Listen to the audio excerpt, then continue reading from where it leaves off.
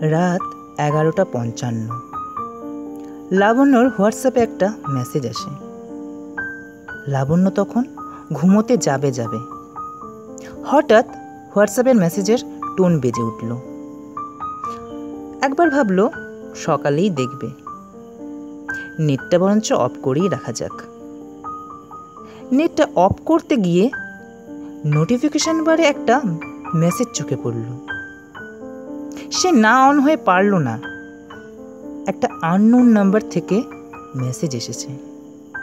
মেসেজটা ঠিক এই রকম আপনার সাথে যা ঘটছে, তা অত্যন্ত খারাপজনক। ভবিষ্যতে যেন আর না ঘটে সেদিকে সাবধান থাকবেন। আড্ডা উইথ পাইলে আজ শুনছেন ইচ্ছা পূরণ। মূল উপদেষ্টা পায়েল সিং প্রধান। গল্প পাঠে আমি, প্রীতম।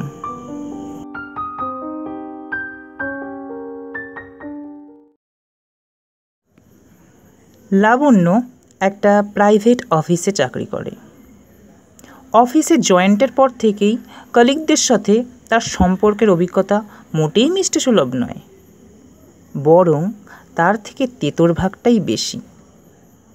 লাবণ্যর সাথে বাকি কলিগদের সম্পর্কের মধ্যে কেউ যেন নিম পাতার রস ঢেলে দিয়েছে, এমনই একটা ব্যাপার। এই তিক্ততার শেষ পর্যায়ে পৌঁছয় একেবারে মানসিক অত্যাচারে। লাবণ্য ঠিক করে, সে আর এখানে কাজ করবে না। এখানেই থেমে থাকেনি ব্যাপারটা। কাজ না করার কথা উঠলে রীতিমতো তাকে কেউ যেন নানাভাবে ভয় দেখাতে শুরু করে। তার উপর এই মানসিক নির্যাতনের কথা লাবণ্য কিন্তু কাউকে কিচ্ছু বলে না। কিন্তু এক সময় দেওয়ালে পিঠ ঠেকে যায় তার। সেই অত্যাচার যখন চরম পর্যায়ে পৌঁছয়, তৎক্ষণাৎ সে চাকরিতে রিজাইন দিয়ে দেয়। বাড়ি ফিরে মনে পড়ে তার গত দিন কয়েক আগে মেসেজের কথা। তখন সে ভাবতে থাকে, কে এরকম মেসেজটা করল? আশ্চর্য হয়ে ভাবে সে। মনের মধ্যে একটা উৎকণ্ঠা জন্মায়। আচ্ছা যে মেসেজটা করেছে সে জানলো কি করে? এই রকম অনুসন্ধিৎসু মন যখন রহস্যের উৎসের দিকে ধাবিত হয়, ঠিক সেই মুহূর্তেই হোয়াটসঅ্যাপে মেসেজ টোন বেজে ওঠে এবং একই প্রস্তাব আসে। আপনার সাথে যা ঘটছে তা অত্যন্ত খারাপজনক। ভবিষ্যতে যেন আর না ঘটে সেদিকে সাবধান থাকবেন। আর আমাদের দলের সাথে যোগ দিলে বরং আপনার ভালোই হবে। লাবণ্য প্রথমটা ভয় পেলেও পূর্বে অফিসের ঘটা ঘটনাগুলো মনে করে একটু সাহস অর্জন করে নিজেই টাইপ করে। আপনারা জানলেন কি করে? আমার সাথে যে সমস্যাটা চলছিল? আর আপনারা আমার প্রকাশ্যে আসছেন না কেন? মেসেজ আসে সমাজের উপর সর্বদা নজর আমাদের থাকে। আর কোনো মেসেজ আসে না। লাবণ্য সারা রাত ঠিকমতো চোখের পাতা এক করতে পারল না। লাবণ্য কিন্তু সাথে সাথে এই প্রথমটায় এই বিষয় যুক্ত হতে চায় না। স্বাভাবিক নিয়মে সেও আর পাঁচজনেরই মতো অত্যন্ত ভয় পায়। কিন্তু কিন্তু কি রকম একটা অদৃশ্য শক্তি তাকে যেন এগিয়ে নিয়ে যায় ওই ব্ল্যাক নামটির সঙ্গে যুক্ত করতে? সে কাউকে কিচ্ছু বলতে পারে না। তার মুখটাতে সেই অদৃশ্য কোন শক্তি যেন হাত চাপা দিয়ে রেখেছে। কিন্তু তাও সে নিজেকে যুক্ত করে ফেলছে ধীরে ধীরে নিজেকে। সে ডিসাইড করে ফেলে, ব্ল্যাকের সঙ্গে নিজেকে যুক্ত করবে। কিন্তু কেন? সে নিজেও জানে না। এক কোন অজানা শক্তির টানে দিশাহীন সূত্রে নিজেকে ভাসিয়ে দিল সে। দিন চারেক পরে, একদিন সকাল নটা, দিনটা ছিল রবিবার। মেসেজ আসে লাবণ্যর ফোনে। Target one. পিসি মুখার্জি লেনের একশো বারোর বি নম্বর বাড়িটায় সকাল এগারোটায়। অনেক দিন ধরে সেখানে একদল গুন্ডার কুদৃষ্টি পড়েছে। বাড়িটায় একজন বৃদ্ধ ও বৃদ্ধা থাকেন। আর কোনো মেসেজ আসে না। লাবণ্য কিছু বলে না আর। রাতটা সে ভালো করে ভাবে। নিজের সাথে ঘটা ঘটনাগুলো মনের মধ্যে আবৃত্তি করতে থাকে। লাবণ্য কথা মতো এগারোটার মধ্যে পৌঁছে যায় টার্গেট এরিয়াতে। পুলিশকে ফোনেই জানায়। রেডি ছিল পুলিশ। এগারোটা পাঁচে একটা কালো গাড়ি বাড়িটার সামনে এসে দাঁড়ায়। সঙ্গে সঙ্গে পুলিশ গাড়িটাকে ঘিরে ফেলে। গাড়ির দরজা খুলতেই অবাক হয়ে যায় গাড়ির ভিতরে থাকা লোকগুলো। আওয়াজ শুনে বাড়ির ভিতর থেকে বেরিয়ে আসেন বৃদ্ধ ও বৃদ্ধা। অনেক জিজ্ঞাসাবাদের পর দোষীরা দোষী সাব্যস্ত হয়। ফার্স্ট প্ল্যান সাকসেসফুল হয় টিম ব্ল্যাকের লাবণ্য মনে মনে অনেকটা খুশি হয়। পরের প্ল্যানও সাকসেসফুল হয়। একটি মেয়েকে শারীরিক নির্যাতনের হাত থেকে রক্ষা করে টিম ব্ল্যাক এভাবে প্রতিটা টার্গেটই সফল হতে হতে লাবণ্য অনেকটা সাহসী হয়ে ওঠে।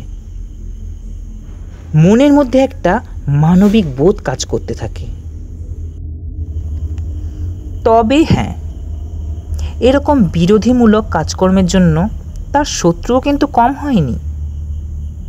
কিন্তু সেভাবে তাকে কোনো বিপদের মুখে পড়তে হয়নি। এই রকমই একটা টার্গেটের সময় দেখা হলো তার কলেজের বন্ধু আকাশের সাথে। অনেক আলাপ পরিচয়ের পর জানতে পারল আকাশ এখন কলেজের প্রফেসর। এবং এটাও জানতে পারল তার কাছেও ওই একই লোক এসেছে এবং সেই একই প্রস্তাব। কিন্তু আকাশ সেই প্রস্তাবটা অ্যাকসেপ্ট করেনি। এদিকে লাবণ্য কিন্তু তার কথা জানালো না আকাশকে। আকাশের সাথে যোগাযোগের পর একদিন বাসে বরুণের সাথে দেখা হলো লাবণ্যর। কলেজ ছাড়ার পর ছটা বছর কেটে গেছে। এত দিন পর তাদের দেখা। কথায় জিজ্ঞেস করল বরুণ, আমাদের পঞ্চপাণ্ডবের মধ্যে কার কার সাথে তোর যোগাযোগ আছে? কারোর সাথেই নেই। তবে হ্যাঁ গত সপ্তাহে আকাশের সাথে হঠাৎ দেখা। আকাশের কথা শুনেই দুজনে খুব আনন্দ প্রকাশ করল। লাবণ্য বরুণের কাছ থেকে এটা জানতে পারল টিম ব্ল্যাকের থেকেই সেই একই প্রস্তাব। আর সে অ্যাকসেপ্ট করেনি। এবার লাবণ্যর একটু খটকা লাগল মনের মধ্যে। আকাশ, বরুণ আর লাবণ্যর যোগাযোগ হয়ে গেল। এর দিন পনেরো বাদে আর একটা টার্গেট ফুলফিল করার জন্য সোদপুর যেতে হলো লাবণ্যকে। সেখানে অদ্ভুতভাবে দেখা হলো চয়নের সাথে। চয়ন এখন শান্তিনিকেতনে আর্ট নিয়ে ব্যস্ত। ছুটিতে বাড়িতে এসেছে। সেখানে কথোপকথনের মাধ্যমে লাবণ্য একই কথা শুনল চয়নের মুখ থেকে। সেখান থেকে কাজ মিটিয়ে দুদিন পরে ফিরে চারজন যোগাযোগ করে। তাদের কলেজ জীবনের প্রিয় ঠেক কফি হাউসে। সবার সাথে মিলিত হবার পর লাবণ্য জানালো, তার কাছেও একই প্রস্তাব এসেছে। ও বর্তমানে সেই কাজের সাথে যুক্তের কথা। কথাটা শুনেই সবাই চমকে উঠল। আকাশ বলল কি? তোকেও? তোর কাছেও এসেছে? চয়ন তুই অ্যাকসেপ্ট করলি কেন? আমার সাথেও এরকম ঘটনা ঘটেছিল। আর সেই জায়গা থেকেই কিন্তু আমি একটা অন্য কথা ভাবছি। বরুণ কি?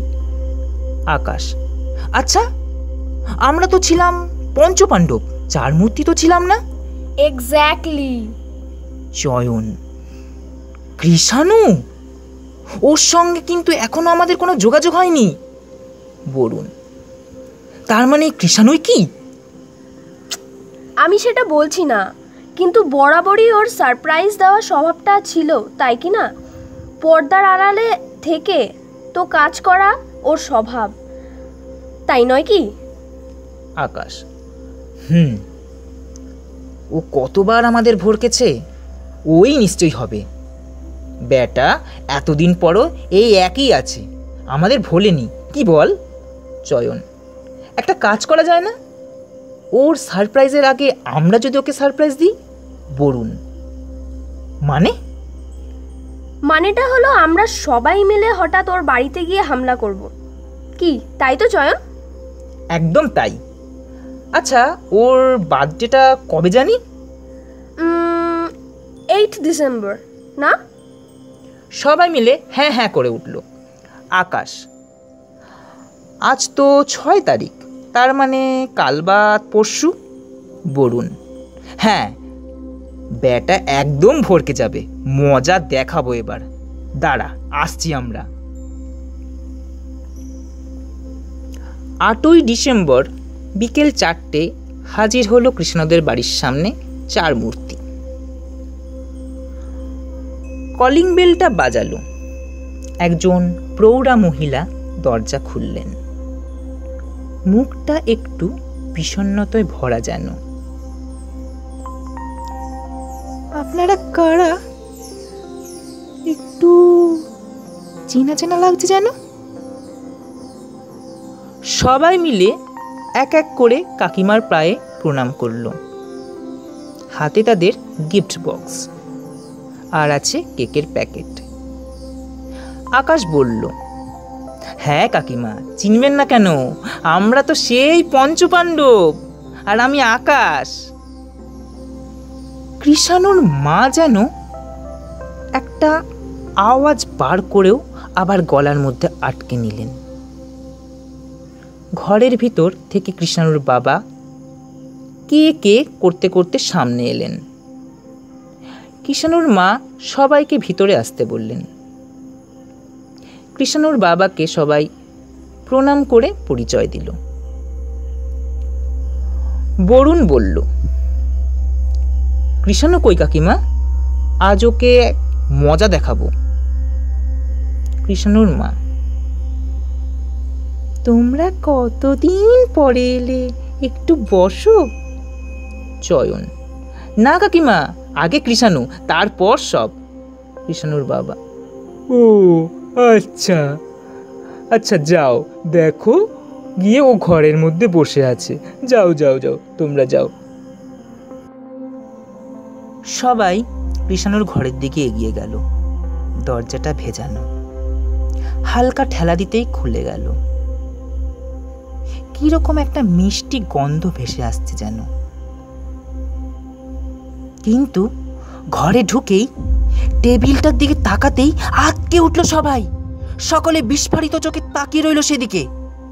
টেবিলের উপর কৃষ্ণর একটা বাঁধানো ছবি, তাতে রজনীগন্ধার মালা ঝোলানো। ধূপকাঠির অন্তিম অংশটুকু এখনও জীবিত আছে।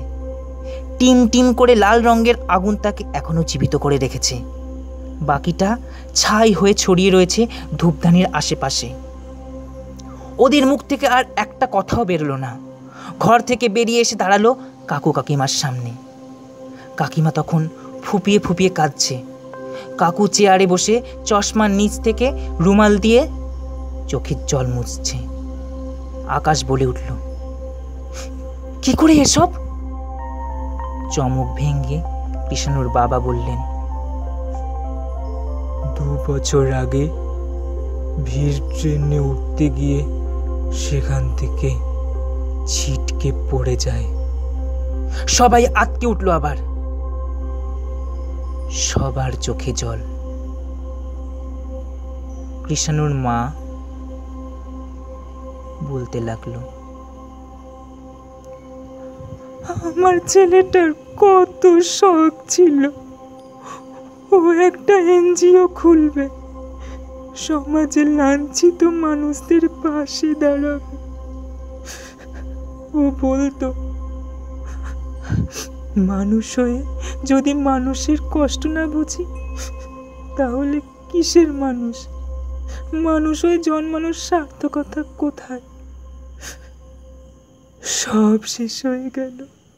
সব সব।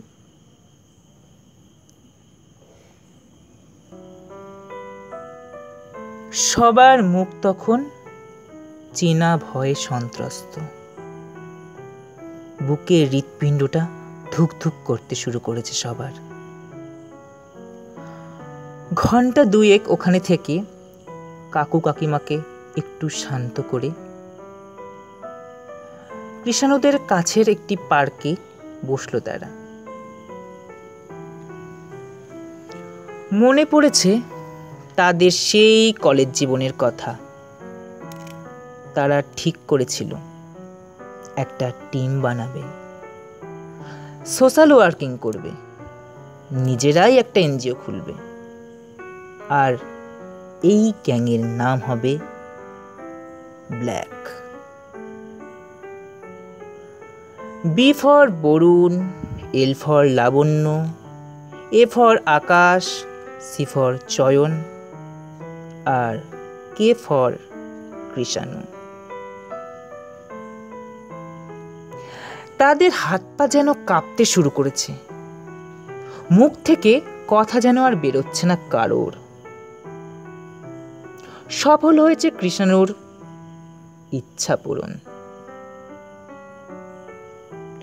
এরপর শুধু লাবণ্য না, বাকি তিনজন তাদের এই ব্ল্যাকের উদ্দেশ্যকে, সম্মানের সাথে তাদের বন্ধুত্বের ভালোবাসাকে এগিয়ে নিয়ে যাবে। কাজ করবে তারা সবাই একসাথে। ভাবলে কেমন লাগে, তাই না? জীবিতকালে যে এত স্বপ্ন, ইচ্ছা মনের মধ্যে রেখেছিল, মৃত্যুর পরেও কিন্তু তা থেমে থাকেনি। বাকিরা ভুললেও কৃষাণও কিন্তু ভোলেনি। তার প্রিয় বন্ধুদের মাধ্যমে তার ইচ্ছাকে পূরণ করতে পেরেছে সে। শুনছিলেন আজকের গল্প ইচ্ছা পূরণ। মূল উপদেষ্টা পায়েল সিং প্রধান। গল্প পাঠে ও চার বন্ধু বরুণ, চয়ন, আকাশ ও কৃষাণুর ভূমিকায় এবং কৃষাণুর বাবা ও মায়ের ভূমিকায় আমি প্রীতম। লাবণ্যর ভূমিকায় বর্ণালী দে। ধ্বনি পরিকল্পনা ও সম্পাদনা সাহিল সিং প্রধান। তাহলে আগামী শনিবার ঠিক একই সময়ে আবার আমরা হাজির হচ্ছি আর এক নতুন গল্প নিয়ে। আরও নতুন গল্প শুনতে হলে চ্যানেলটিকে অবশ্যই সাবস্ক্রাইব করুন। এবং পাশে থাকা বেল আইকনটি অবশ্যই প্রেস করে দিন। এবং আপনারা যদি রোমাঞ্চকর কোনো গল্প লিখতে ভালোবাসেন, তাহলে আপনাদের লেখা গল্প শুনতে হলে যোগাযোগ করুন আড্ডা উইথ পায়েলের সাথে। FB ID Adda with Payel পুরোটাই বাংলায়। তাহলে আজকের আড্ডা এখানেই শেষ। সঙ্গে থাকুন। নমস্কার।